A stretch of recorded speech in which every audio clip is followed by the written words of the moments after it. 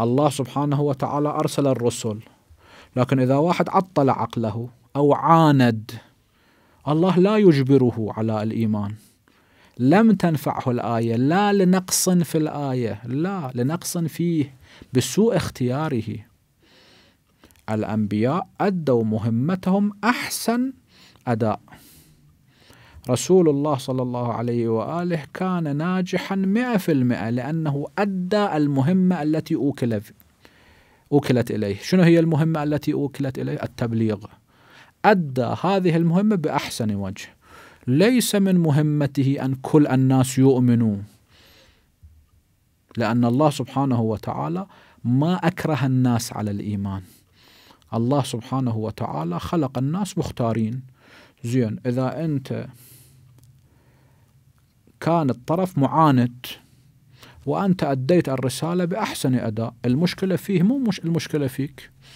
أنت الآن جيب أحسن طبيب أحسن الأطباء في العالم. جيب جيبه في منطقة فيها أمراض.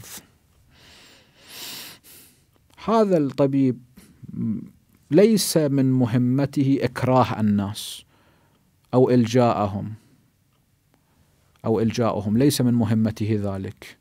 أن يأتي مثلا يأخذ الناس بعنف ويوجر الدواء في فمهم مثلا أو يزرق الإبر بإكراه. لا. مهمته أن يذهب إلى هذه القرية يفتح العيادة يأتي بالأدوية المجانية وينادي للناس أنه أي مريض يأتي أعالجه مجانا لا أريد منه أجرا. أنا أجري من الدولة مثلا مجانا. زين اجى إلى القرية. بعض أهل القرية أو المنطقة ذهبوا إليه فعالجهم علاجا تاما كاملا مجانيا والبعض لم يأتوا إليه. وأمراضهم فتكت بهم وقتلتهم.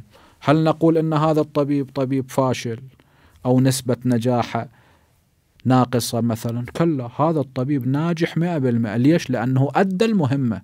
ما كانت مهمته إجبار الناس. كانت مهمته أن يعلن للناس وأن يعالج من يأتي إليه. وبالفعل أدى المهمة أحسن مهم أحسن أداء. الأنبياء ما كانت مهمتهم إكراه الناس على الإيمان مهمتهم التبليغ.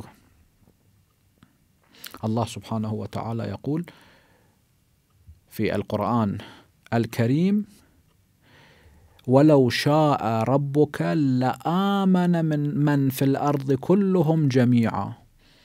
لو شاء يعني مشيئة تكوينية. الله لو كان يريد بالمشيئة التكوينية أن يؤمن كل من في الأرض. خلاص.